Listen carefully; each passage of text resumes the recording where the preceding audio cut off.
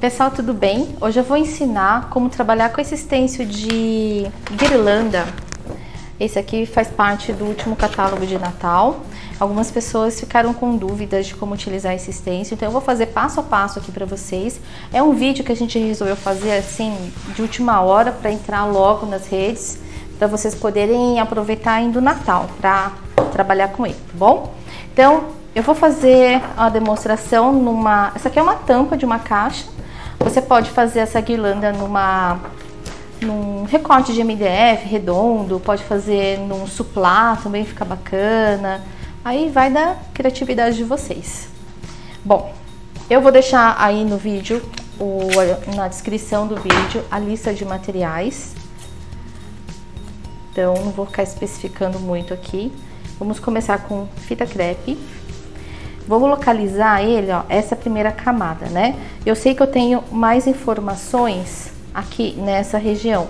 Então, eu vou colocar minha guirlanda um pouquinho mais. Ah, não, dá pra pôr aqui no centro. Essa, essa tampa aqui é grandinha. Vou posicionar a fita crepe bem embaixo desses furinhos. Esses furos são os registros para a gente posicionar todas as camadas no lugar certinho. Eu já tenho aqui um papel para tirar o excesso. É, como a minha mão vai ficar ocupada segurando o stencil, então eu vou colocar esse papel embaixo do vidro. Então o vidro segura o papel para mim. Você pode também forrar a mesa com papel para você poder tirar o excesso com mais facilidade. Então aqui, ó, estou bem confortável. Marco o registro Nessa primeira camada, você pode trabalhar com uma cor neutra, essa aqui é o Mushroom da acrílica da cor Fix, é isso aqui. Você aplica é, essa cor em todas as camadas, você monta primeiro, esse é o conselho que eu dou, sempre que você for trabalhar com stencils de encaixe. Então, tem várias camadas, primeiro você tem que entender é, o que corresponde a essas, essas camadas, tá? O que é, se são folhas, se, se é o sino, se é o passarinho, então uma cor você aplica aí em todos os elementos, vai alternando somente os tons, não precisa deixar todos eles escuros. Aqui eu já sei que são aquelas frutinhas vermelhas, aqui são as pinhas, aqui folhagem, Então, a Hiro, dá um zoom aí para o pessoal enxergar melhor.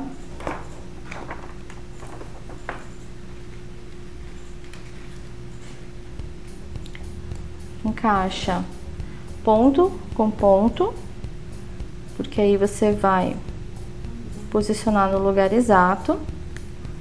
E aí, pode preencher também todas essas regiões. Pega um pouquinho de tinta, tira excesso.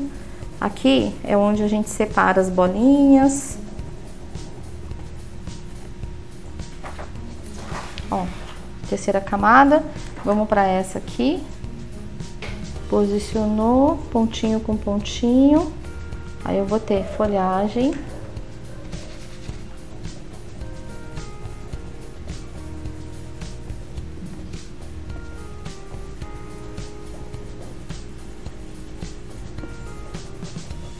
Tem os galhos aqui também.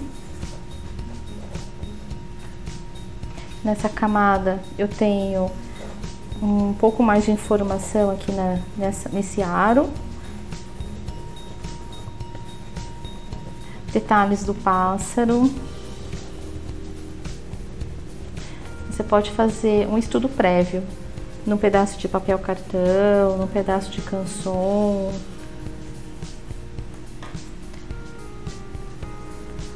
e aí depois ir para o seu trabalho definitivo. Então aqui eu montei todas as camadas, tá? E tem o Feliz Natal. O Feliz Natal você pode colocar onde você quiser, pode até colocar fora da guirlanda, não tem problema.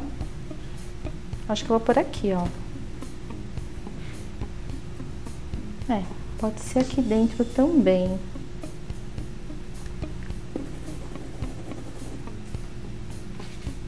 Então, utilizei uma única cor só para montar todos os elementos. Então, agora eu já sei onde eu vou colocar vermelho, onde eu vou pôr marrom. Posicionando novamente, agora eu vou começar a colorir. Posiciono exatamente onde eu apliquei a primeira camada. Aí eu vou trabalhar com um marrom. Esse aqui é o tabaco tinta PVA, eu misturo, tá? Eu misturo PVA com tabaco. Pode misturar com um pouquinho de verde também.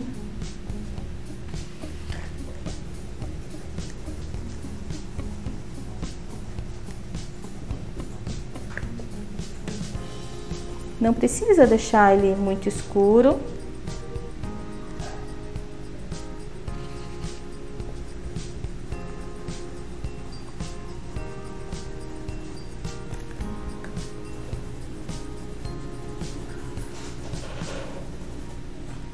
Ok, aqui é um espacinho vazado, então eu sei que vai ser bem escuro, aqui também.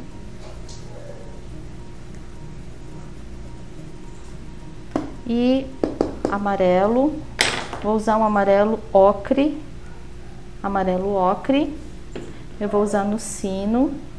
O fato de ter essa cor por baixo ajuda também, porque ele ajuda a diminuir a intensidade das cores. Então, qualquer cor que eu colocar já vai interagir com essa cor de baixo e vai diminuir a intensidade. Ela não vai ficar estourando. Coloquei amarelinho. Agora, vamos para essa camada. Que tá aqui do lado, eu tenho as pinhas. Posiciona bem certinho. Vou voltar para o meu pincel que tava com uma cor escura. E vou colocar esse marrom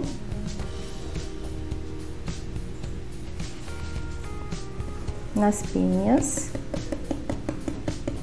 no galho também.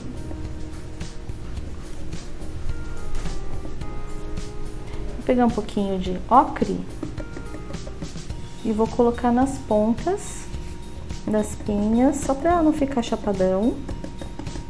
Vou dar uma batidinha de leve, sem muito, não precisa trabalhar muito aqui. Agora eu vou pegar o vermelho, esse é o vermelho, vermelho vivo, vermelho tomate, vermelho tomate.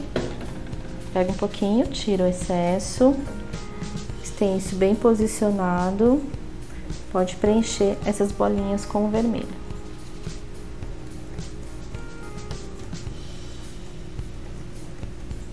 Movimento circular, preenche chapadinho mesmo. É, vou aproveitar que eu estou trabalhando com vermelho e essas bolinhas eu também vou trabalhar com vermelho. Então, eu encaixo exatamente onde eu trabalhei.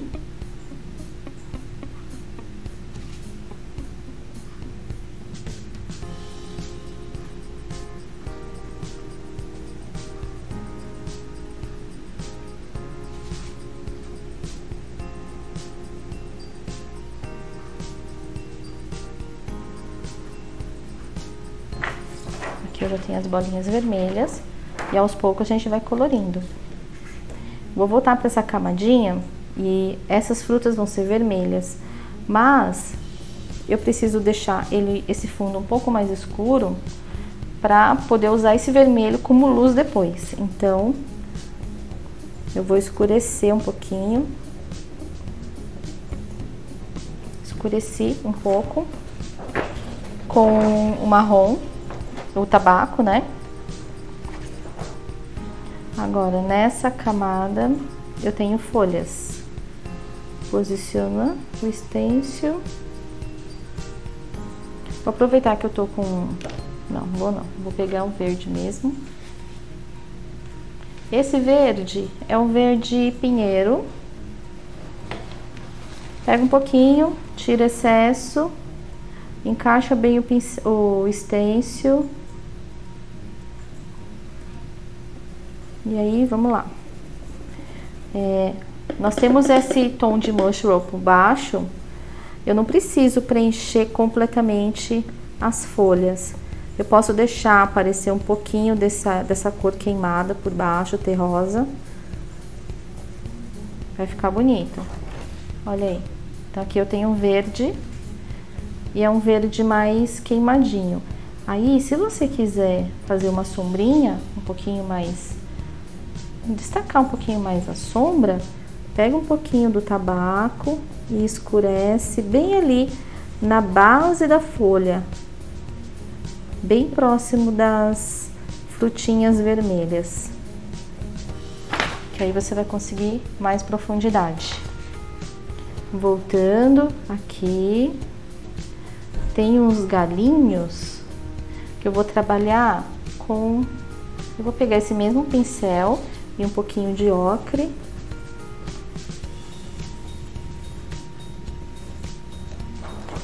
Aí eu vou ter esses galinhos. Certo?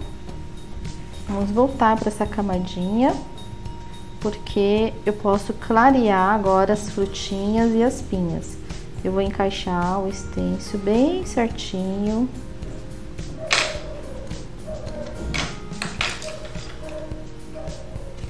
Vou lavar o pincel, que eu quero um pincel bem limpo agora. Vocês estão ouvindo o barulho de, do cachorro latindo? É vida real aqui, tá? Não dá pra pedir pro cachorro parar de latir, né? Deixa ele participar aqui da aula. E tava quietinho até agora. Descobriu que a gente tá gravando, né, Hiro?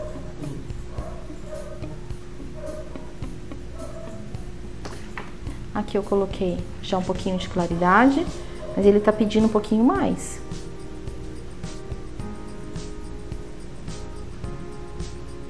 Depois eu volto porque ele precisa secar. Se eu ficar trabalhando aqui, se eu insistir, vai começar a fazer umas manchas Aí eu não quero.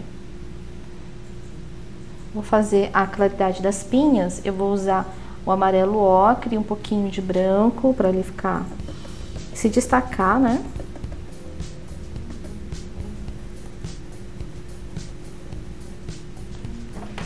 Assim. Tá vendo essas folhinhas?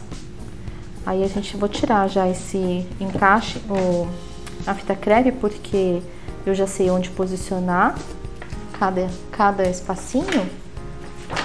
Eu vou agora, eu vou tonalizar essas folhas também com verde.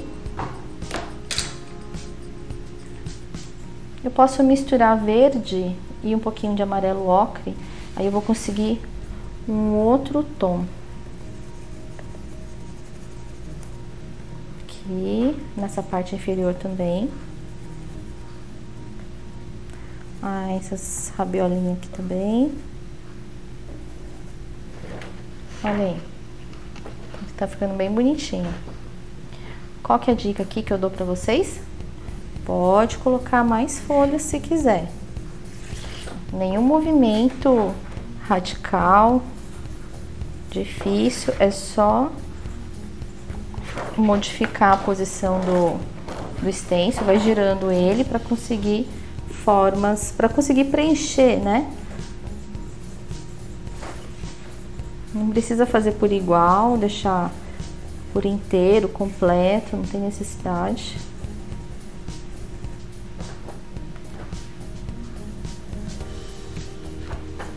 Olha aí que bonitinho que fica. Secou já o vermelho. Volta com o stencil. Eu vou pegar um pincel bem pequeno, um 000.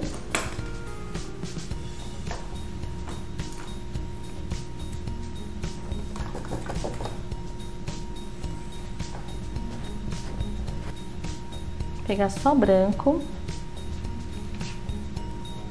Eu vou acentuar a luz dele.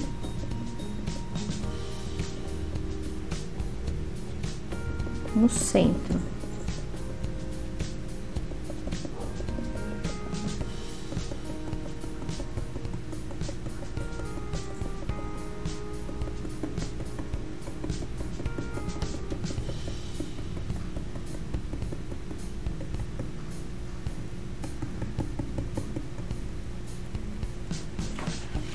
Já iluminou um pouquinho.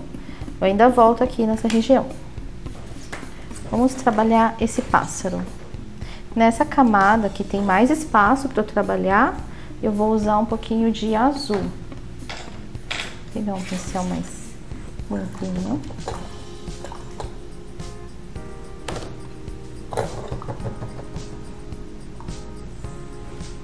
Lembrando de secar bem o pincel a cada lavagem. Posiciona o stencil do passarinho na primeira camada que tem mais espaço para trabalhar. E eu vou utilizar aqui o azul. Esse é o azul, azul petróleo. Também não necessita, não precisa preencher ele inteiro. Trabalha uma camada bem fina de tinta para ele ficar bem delicado, não ficar saturado. Aproveita, já faz o bico, pode usar o amarelo ocre, um chorinho aqui do vermelho, que ele vai ficar um alaranjado.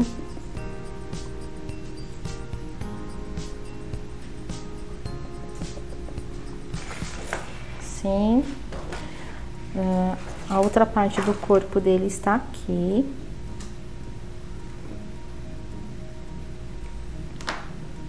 Vou trabalhar com azul também.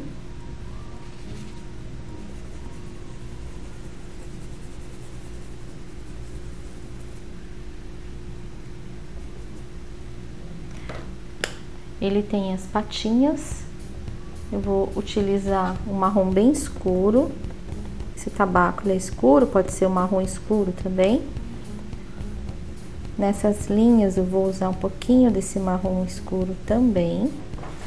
Então, ele vai ficar assim. Vamos voltar aqui pra... Não, vamos voltar nada. Vamos ficar aqui mesmo.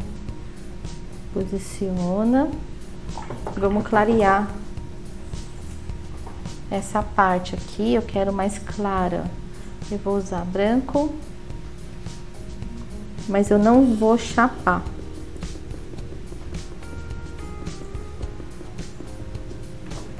Assim. E ele tem os olhos também. Truque. Eu quero deixar o meu pincel menor do que ele é. Eu pego um pedacinho de fita crepe. O pincel tá limpo, tá seco. Aí eu venho aqui e aperto a cerda. Ele vai ficar menor e vai ficar mais firme. Assim eu consigo ter mais controle. Eu quero pegar uma área mais um detalhe, então onde tem os olhos, eu vou dar uma batidinha. O pincel tá pequeno, então eu consigo fazer isso. Aqui bem perto do bico, também vou dar uma esfumadinha. Ok. Ele aceita ainda uma sombrinha aqui nessa parte de baixo. Geralmente aqui no pescocinho também vai ficar mais escuro, porque é uma área que está recuando. Pronto, ó, temos um passarinho. Nessa camada, nós temos um laço. O laço de Natal geralmente é vermelho.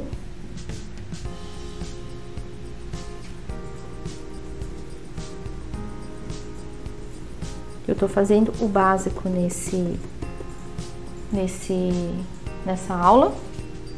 Você pode incrementar colocando sombreado, pode flotar aqui com pincel chato, como você achar melhor, tá? Aqui a função dessa aula aqui é ensinar como utilizar o stencil. Aí você vai incrementar como você quiser. Esse sino aqui tá muito chapadinho, vamos fazer uma sombrinha nele. Peguei aquele mesmo marrom, acrescentei o amarelo ocre, aí eu botei uma, uma sombra do amarelo ocre. Vou sombrear um pouquinho aqui na cinturinha do sino. Não precisa fazer toda a volta. Trabalha somente onde ele recua. E aí você vai fazer uma cinturinha aqui na, no sino. Ele vai ficar mais gordinho. Tá vendo essa região aqui? Se eu escurecer mais, eu vou conseguir dar mais é, contraste, destaque para a pinha, para as frutas vermelhas. Então, vou abrir o pincel, vamos escurecer. Tá assim, eu vou escurecer. Posiciono o extenso perfeitamente.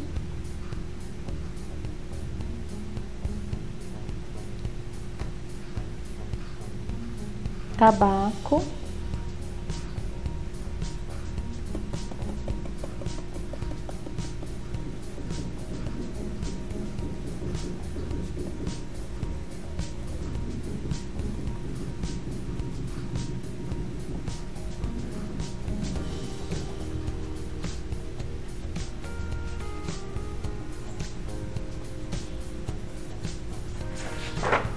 destacou mais.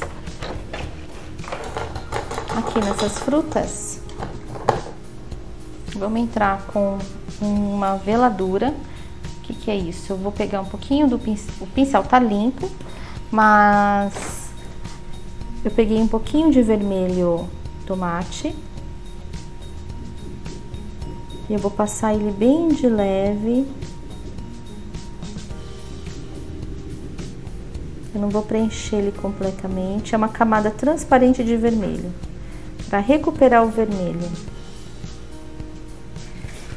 Aí ele ficou um pouco mais vivo. Nessa camadinha, na última, nós temos o brilho das frutas, que aí você vai poder colocar um branquinho. Pegar um pincel bem pequeno. Nem vou hidratar ele.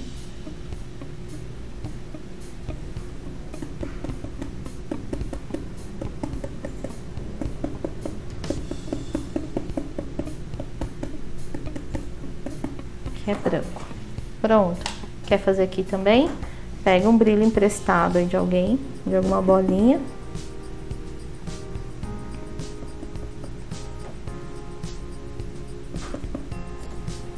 Ok. Ah, esquecendo. Nessa camada, eu vou pegar o marrom mais escuro.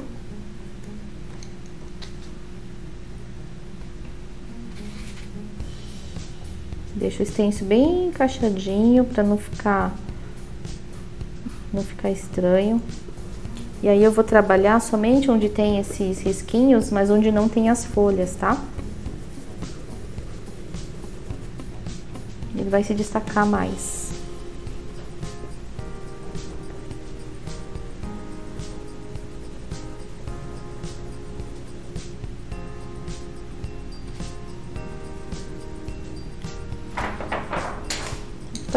Pronto. Feliz Natal. Eu vou usar um marrom mais escuro também. Se você quiser fazer o deslocamento aqui, é bem fácil. Um pouquinho para a direita e um pouquinho para cima. Bem pouco mesmo, porque essa fonte ela é fina, então eu não posso exagerar aqui na distância.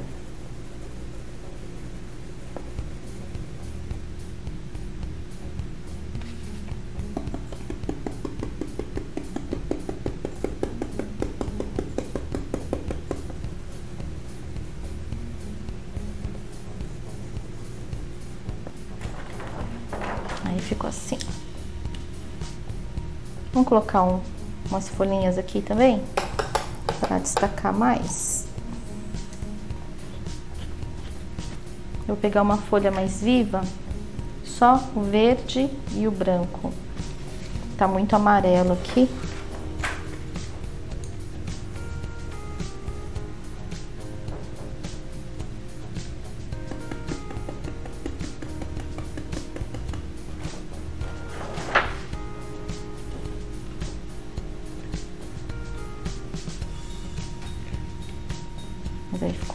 Azulado demais. Vamos ajustar.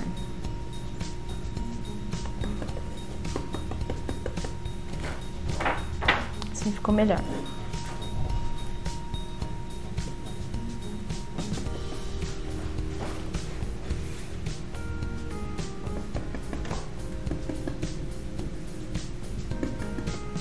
peguei só o verde,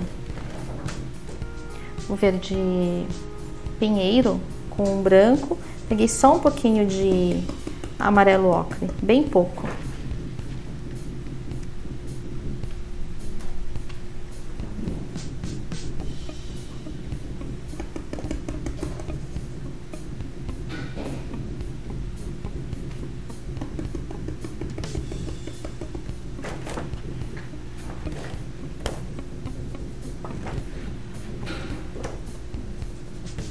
Distribuir um pouquinho para fora da, da guirlanda. Eu posso também distribuir um pouquinho de galho se eu quiser.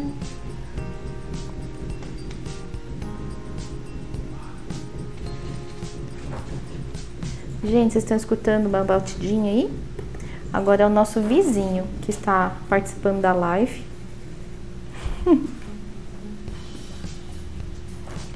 Da live não, né? Estamos gravando.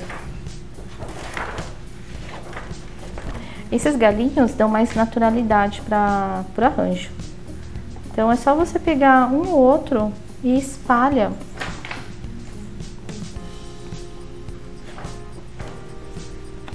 Pronto. É isso aí. Tá aqui, pessoal. É só um passo a passo de como trabalhar com esse stencil de guirlanda. Você pode incrementar mais, tá? Mas aqui tá o bem básico, um pouquinho básico com um pouquinho de informações, um pouco mais de informações. Sombreado, é, um pouco mais de folhas, mas aí você pode continuar trabalhando. Se você quiser, pode usar o pincel, esse pincel aqui, que é o chanfrado, e fazer mais sombras, aí vai da, da disposição que vocês têm para pintura, tá bom? Então, espero que vocês tenham gostado desse passo a passo. Foi VaptVupt. Quanto tempo, Hiro? 27 minutos. 27 minutos. Tempo real, tá? Então, 27 minutos desse passo a passo aqui, bem prático. Você pode incrementar, então, como eu disse. Então, gente, bora pintar. Bom Natal! E até o próximo vídeo.